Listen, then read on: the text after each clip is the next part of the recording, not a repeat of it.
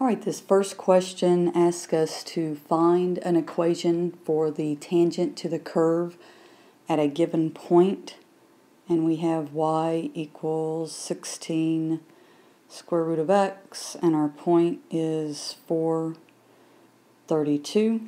So I know if I want to find an equation tangent, then I'm going to need my y minus y1 equals m times x minus x1, where I already have my x1 and y1, I just need my slope, and to find the slope, I just simply take the derivative of 16 to the square root of x, so I can pull that 16 out front, and then the derivative of square root of x is 1 over 2 square roots of x, so that becomes 8.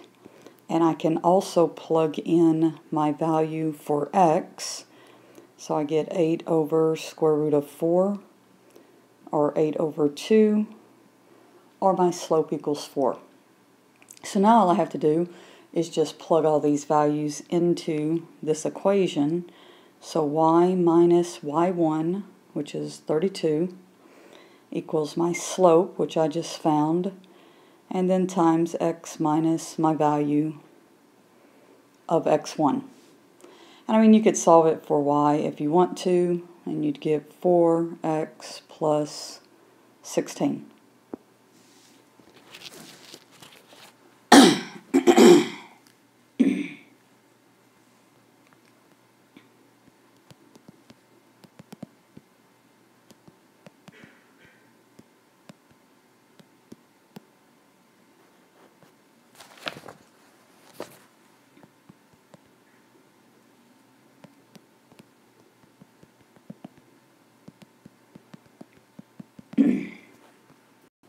All right, so in question two, it asks you to calculate on part A, to calculate the derivative for f of x equals 5x plus 9. Well, the derivative of 5x would be 5, and the derivative of 9, a constant, would be 0. And then it said to give the value of the derivative at x equals 2.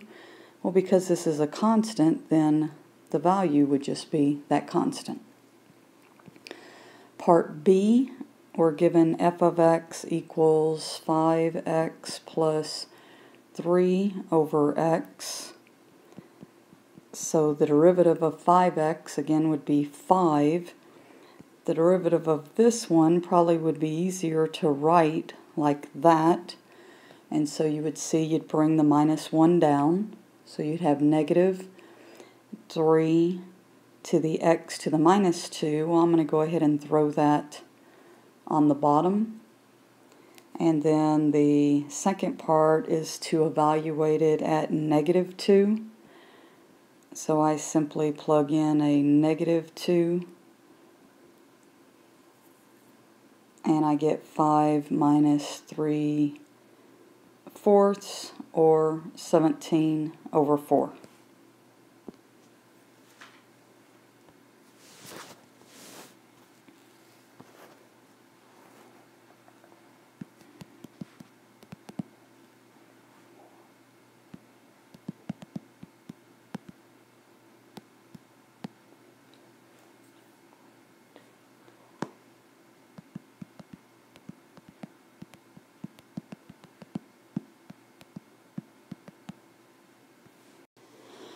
All right, question number three.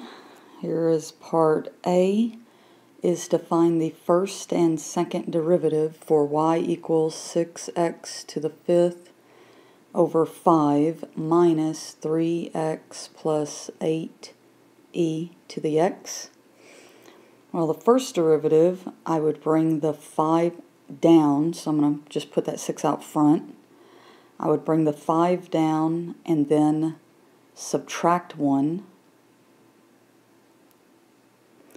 And then the second derivative, I would just have negative 3.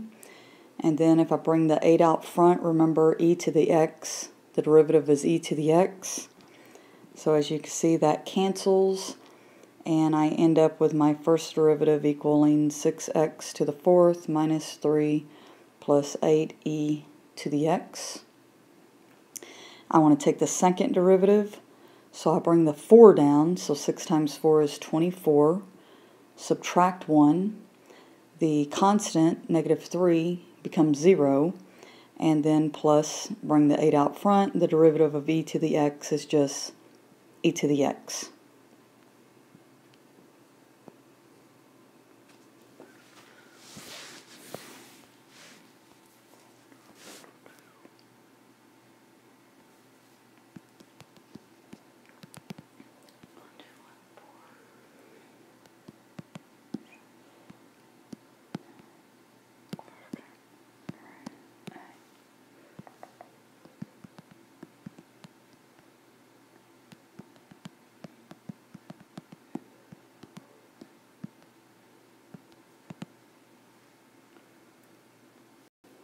All right, here is part B of question number three, where we want to find the first and second derivative for this equation.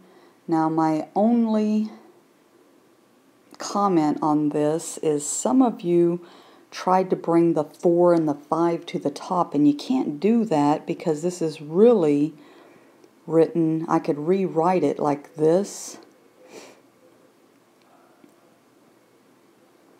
And so the only part that you can bring to the top are the yeses. So that's how you can rewrite this as s to the negative 3 over 4, and then minus 6s to the negative 4 over 5. But some of you guys tried to bring the 4s and the 5s to the top, and that's kind of what got you in trouble. Alright, so now if I take the derivative, I just bring down negative 3 I subtract 1, leave the bottom alone. Here I'm going to bring down a negative 4, so that negative 4 and that negative sign make a positive 24. Subtract 1. And I could make this look a little better. Minus 3s to the negative 4 over 4 Oops, sorry. I said make it look a little better and I didn't change anything. Meaning I could rewrite this with the exponents on the bottom. Wasn't necessary, but just something that if you wanted to, you could have written this way. So either way. So now I want to find the second derivative. And when I find the second derivative, I probably would want to look at this one because it'd make it a little easier. So I bring down the negative 4, negative 4 and a negative 3 is a positive 12. Subtract 1. Bring down the negative 5 times 24, so 120. Subtract 1. And once again, I could write this first one as 3, because this, of course, would become 3 over s to the fifth. I'm just bringing the exponents to the bottom. And then minus, that actually cancels to become 24, s to the 6.